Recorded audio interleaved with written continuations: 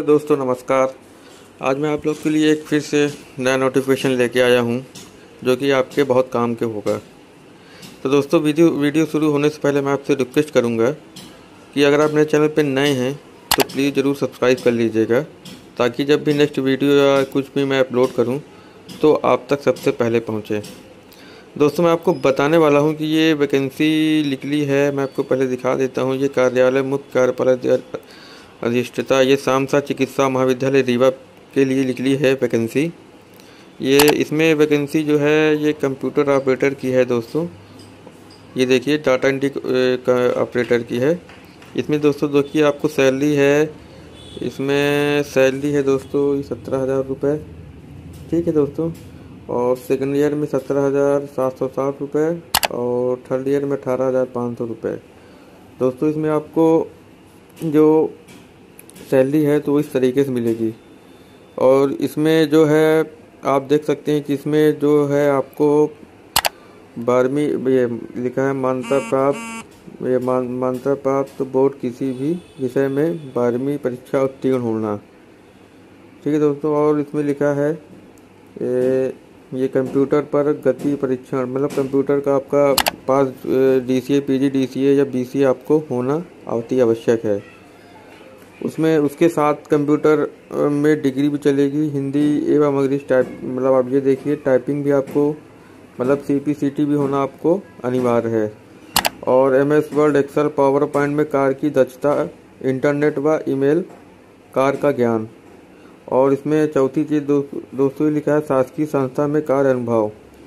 दोस्तों आप मतलब टेम्प्रेरी भी अगर गवर्नमेंट संस्था में अगर काम किया है तो वो भी आपको चलेगा। क्योंकि इसमें दिया है शासकीय अनुभव द्वारा जारी हुआ अनुभव प्रमाण पत्र। तो आपको अनुभव प्रमाण पत्र वहाँ से प्राप्त मिल जाएगा।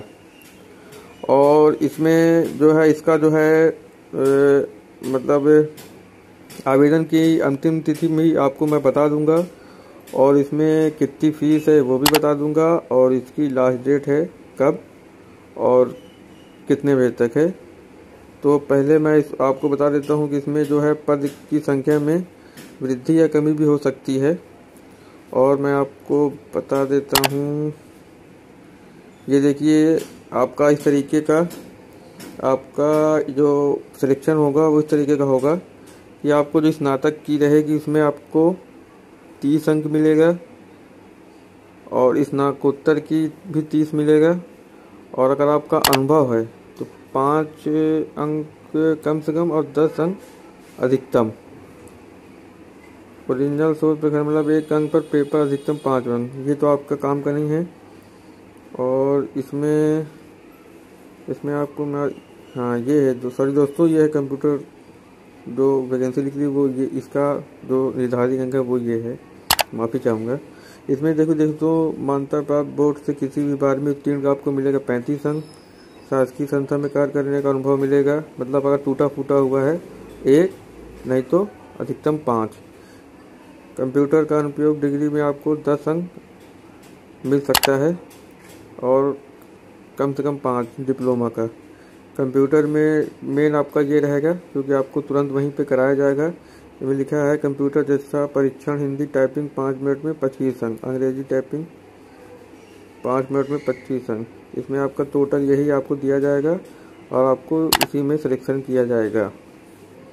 इसमें मतलब पचास अंक के आधार पर एक पद के विरुद्ध तीस उम्मीदवारों को दस्ता मतलब शॉर्ट लिस्ट किया जाएगा। तो मैं आपको बता देता हूँ कि ये जो है ऑफलाइन फॉर्म है। इसमें मैं आपको दिखा देता हूँ। ये आवेदन, ये देखिए दोस्तों, आवेदन करने की तिथि है, ये है मतलब 10 से स्टार्ट हो गई थी और ये 30 नौ दो हज़ार बाईस से शाम को पाँच बजे तक चलेगी। और उसके बाद आपको ये डाक जो है, ऑफलाइन फॉर्म है तो आपको जो डाक रहेगा डाक जो है कार्यपालन मुख्य मुख्य कार्यपालन अधिकारी एवं अधिवक्ता श्याम सा चिकित्सा महाविद्यालय इस नाम से बनेगा। सॉरी सॉरी सॉरी, इस नाम से बनेगा आपको बैंक ड्राफ्ट। ये लिखे C O and Dean S S medical college.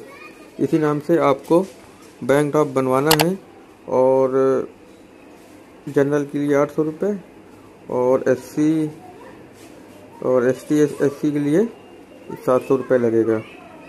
और इसमें साफ़ साफ़ लिखा है कि आवेदन शुल्क वापस नहीं होगा। आप इसको दोस्तों देख लीजिए, अपने हिसाब से इसको फिल कर दीजिए। और इस पते और पता जो है, ये लिखा है दोस्तों, आवेदन भेजने का पता जो है वो ये रहेगा। ठीक है दोस्तों? और भी इसका फॉर्म मैं दिखा देता हूँ। ये इसका फॉर्म है। ये आपको फॉर्म अगर चाहिए दोस्तों तो प्लीज़ आप कमेंट करके ज़रूर बताइएगा दोस्तों। वीडियो अच्छा लगा हो तो सब्सक्राइब ज़रूर करिएगा और शेयर ज़रूर करिएगा अपने दोस्तों के बीच धन्यवाद।